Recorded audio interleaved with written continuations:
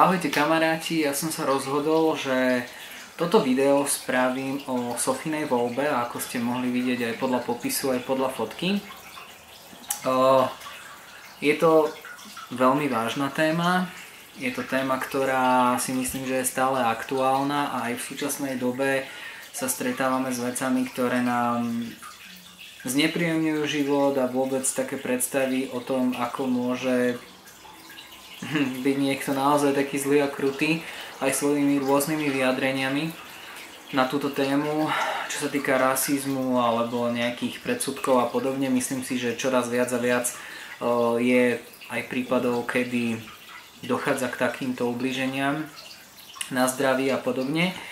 A myslím si, že táto knižka, aj vzhľadom na to, že bola povinnou literatúrou na stredných školách, tak viem, že veľmi málo ľudí ju čítalo, pretože je to vážna kniha, aj sa nečíta veľmi príjemne, ale je to pre mňa jedna z najlepších kníh, aké som kedy čítal a nie len kvôli tomu zmyslu celému, o čom tá kniha bola a aké má poslanie alebo nejaké také, taký nejaký odkaz, ale preto, lebo tá kniha bola vynikajúco napísaná. Naozaj ten William Styron, ktorý je autorom tejto knihy, tú knihu napísal skvele. Fakt, ja, ja niekedy normálne som sa prichytil pri tom, ako rozmýšľam nad tým, ako vynikajúco je tá kniha napísaná. Že, lebo reálne ten príbeh bol jednoduchý. Aj celkovo ten príbeh o tom, ako Stingo, ktorý je hlavná postava tejto knihy, on je Američan, ktorý Sofiu spoznal, Sofiu, ktorá bola Polka, ktorú spoznal potom, ako ona ušla vlastne z Európy a ktorá sa ocitla v koncentračnom tábore, kde skončili aj členovia jej rodiny.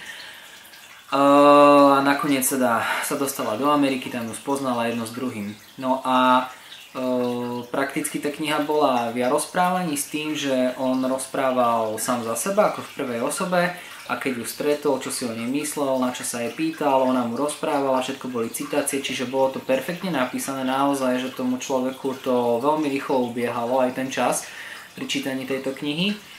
No a bolo to veľmi smutné, fakt veľmi smutné a dá sa povedať, ja keď som tú knihu čítal, ja si väčšinou takéto knižky nechávam na cestu vlakom, lebo vo vlaku sa mi tak lepšie čítajú tieto vážne knihy.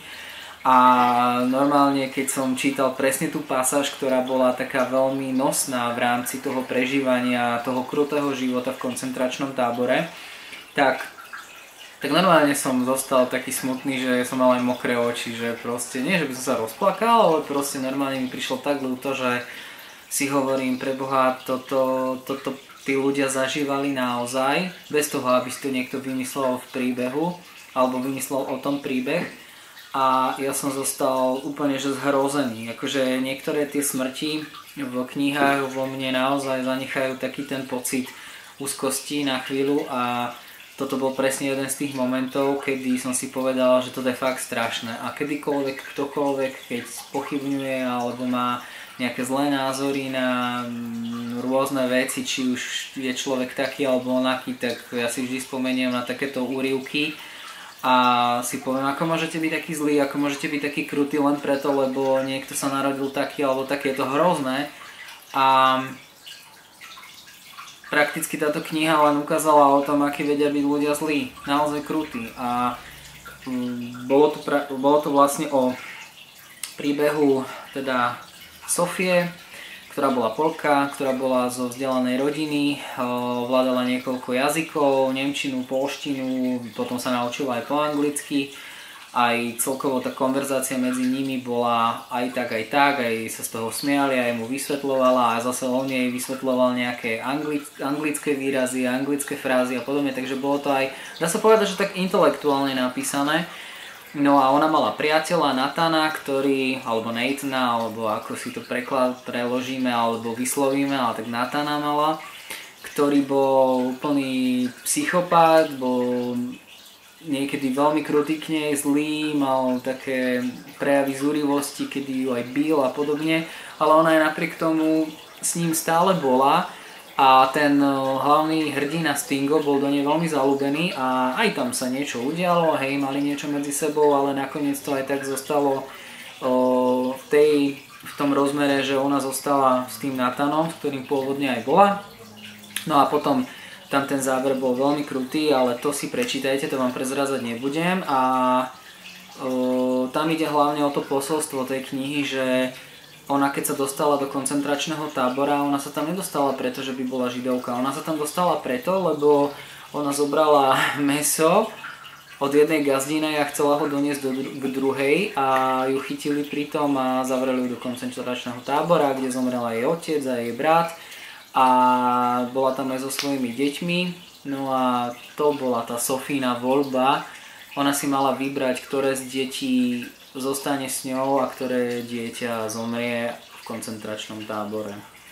A práve keď došlo k tomuto rozhodnutiu, tak mi tie slzičky tak vyšli von, lebo ona bola taká zúfalá, že ona len tak strelila proste meno a bez rozmyslu. Ešte to dieťa hovorilo mami, mami proste a ona povedala, že zoberte si a nepoviem, že koho, hej, ale proste zoberte si a dopadlo to tragicky preto, lebo po jedno dieťa prišlo, prišla tým, že sa ho vzdala dobrovoľne takýmto spôsobom a o druhé dieťa prišla prirodzene, pretože to druhé dieťa dali do nejakého tábora tam, kde boli deti týchto ľudí a ona už v živote to druhé dieťa nevidela. Čiže vlastne ona prišla o celú rodinu a potom s takýmto zničeným psychickým životom prišla do Ameriky, kde stretla psychopata, ktorý s ňou žil a ktorý s ňou narábal niekedy ako naozaj s väzňom.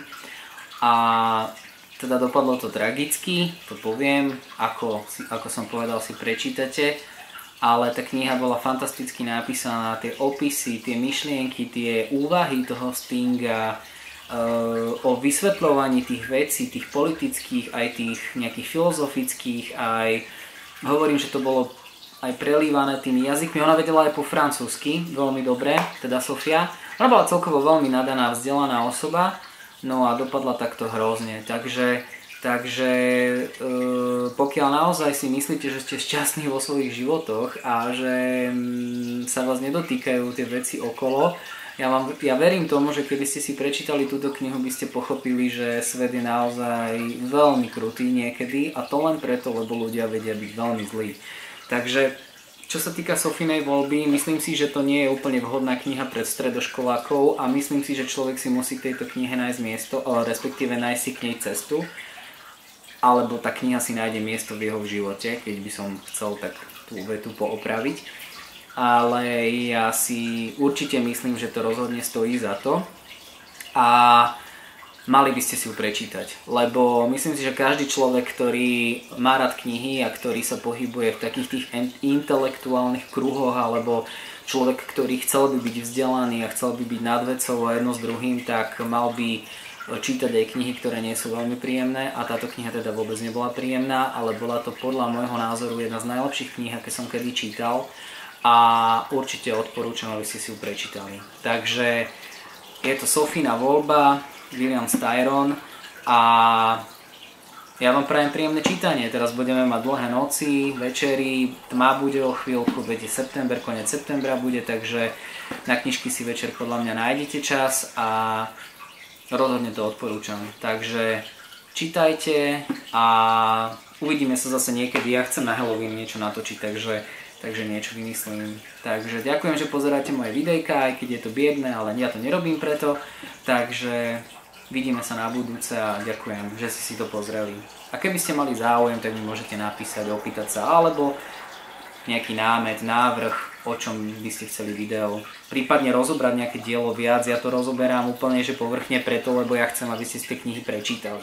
Ja tu nebudem robiť rozbor postav a e, charakterov a línie deja, deja a proste ja neviem čo všetko hej z literárneho hľadiska, pretože uh, jednak ja som právnik, nie som ani literát, ani učiteľ, ani no učiteľ som, ale to je jedno, ale ja chcem, aby ste si knižky čítali, takže takže preto robím tie videá, lebo ma to baví a myslím si, že je to celkom príjemná aktivita, voľnočasová, ako ste si vš- mohli všimnúť, nerobím to často, takže keď si k tomu konečne sadnem, tak ma to teší a robím to rád. Takže ďakujem ešte raz za sledovanie, prečítajte si Sofinu voľbu, je to trošku dlhšia knižka, ale zase nie až taká dlhá. Keď ľudia vedia čítať totálne kraviny, tak myslím si, že to by mohli si prečítať, lebo je to kus kvalitnej literatúry s veľmi dobrým odkazom. Pre normálnych ľudí a vidíme sa zase niekedy na budúce. Tak sa majte pekne. Ahojte.